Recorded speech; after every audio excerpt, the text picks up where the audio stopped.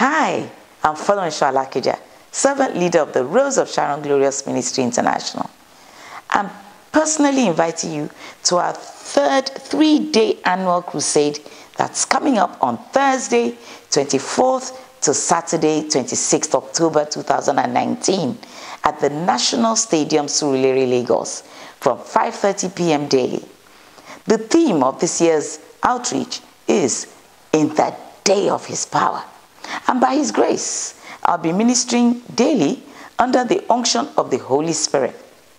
We will also have musical ministration by Bukola Bekes, Sammie Okposo, Yetunde Are, and our very own Fresh Fire Choir.